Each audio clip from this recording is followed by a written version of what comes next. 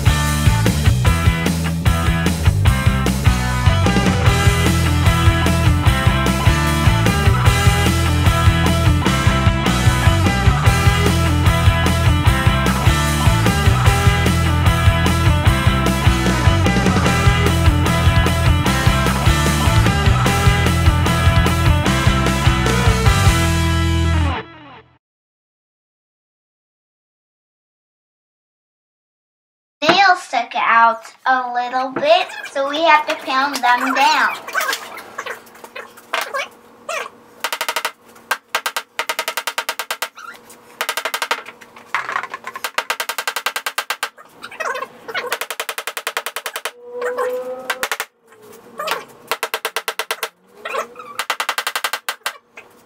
I realized where my thumb was, so I thought I'd better move it pretty quick.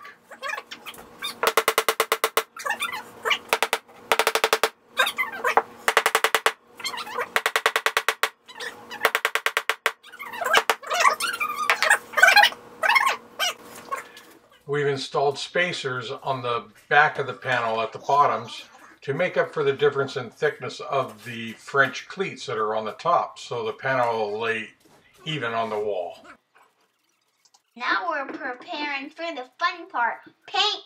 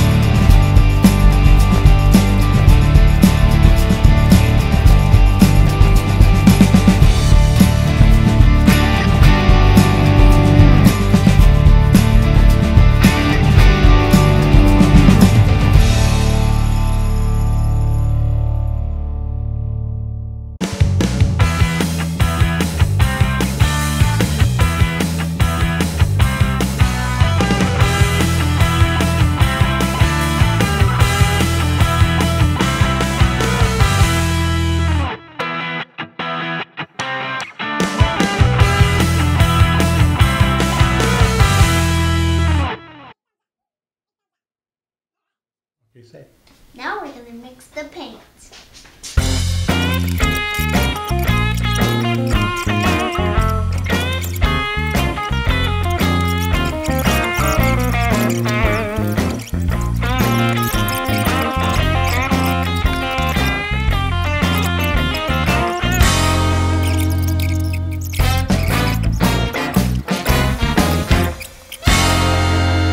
Here we put the colors on the chain and then make the pull.